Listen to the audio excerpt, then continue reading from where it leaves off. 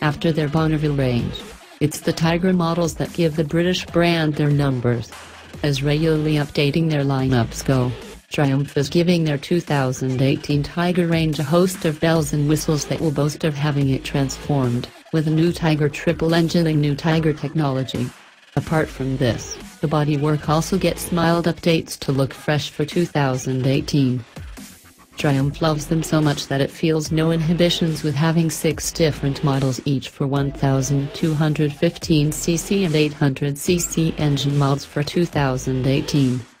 Both the 1200 and 800 have four road variants, XR, XRX, XRX Low, and range-topping XRT, and two off-road ones, XCX and a top-spec XCA. Guess we'll take the best of them and spread it out for you nice and easy?